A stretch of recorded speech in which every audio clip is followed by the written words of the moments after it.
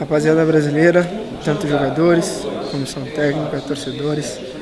É, é um momento muito difícil, que falta, faltam palavras para dizer o que está passando pela minha cabeça, pelo meu coração. Só queria dizer que, que eu vou voltar o mais rápido possível, quanto menos esperar, eu estou de volta. É, queria agradecer todo o apoio, todo o carinho que tiveram por mim, tudo que escreveram, pelas mensagens, por tudo.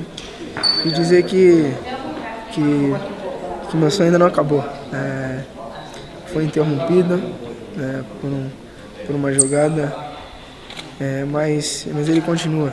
tenho certeza que meus companheiros é, vão fazer de tudo, vão fazer de tudo para que, que eu possa realizar o meu sonho, que é ser campeão.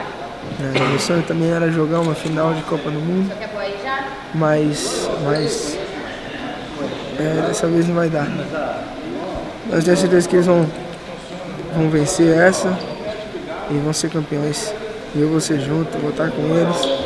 E nós brasileiros vamos estar comemorando tudo isso. Valeu, obrigado a todos. Aí, um abraço.